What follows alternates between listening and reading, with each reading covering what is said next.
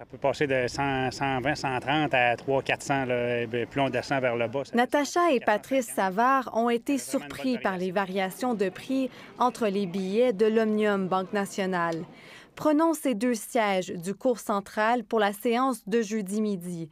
Ils coûtent 544 dollars, tandis que les deux mêmes places pour les parties du vendredi à la même heure se vendent à 790 dollars en quart de finale. Et ils peuvent encore augmenter dans les prochaines heures. C'est ce qu'on appelle des prix dynamiques. On a suivi ce qui se fait ailleurs, en fait, dans, la plupart des, grands spectacles sportifs. Il y a un algorithme qui calcule avec le nombre de billets restants, euh, puis ça va jusqu'à un maximum. Comme les billets d'avion, les prix des places au tournoi de tennis à Montréal augmentent selon l'offre et la demande.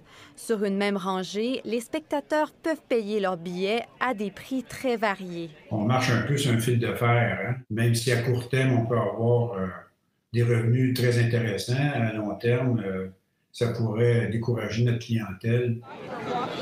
Voyant les prix de dernière minute, Stéphane Langlois préfère amener ses enfants aux parties de tennis plus abordables sur les terrains secondaires et il n'est pas le seul. C'est assez dispendieux. Quand on est allé voir le Canadien, euh, ça coûtait moins cher que ça. On a pris le cours Roger parce que c'est sûr que le cours central, je trouvais ça vraiment cher pour des places qui étaient très, très hauts. Là. Le directeur des internationaux du Canada défend la stratégie de vente de billets à des prix dynamiques. C'est bon pour nous, c'est bon pour le développement du sport parce qu'on remet tous les profits de euh, l'Omnium Banque Nationale pour le développement euh, du tennis et des jeunes.